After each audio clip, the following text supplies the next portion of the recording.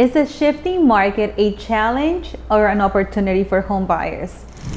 What I'm seeing is that home buyers are having more opportunity as the supply of inventory increases. There are also different programs available for buyers right now, and many times we are able to negotiate a better price and credits for our buyers. So if you've been wanting to buy a home, today might be the best time for you to take action. Send me a message and I would love to get you started.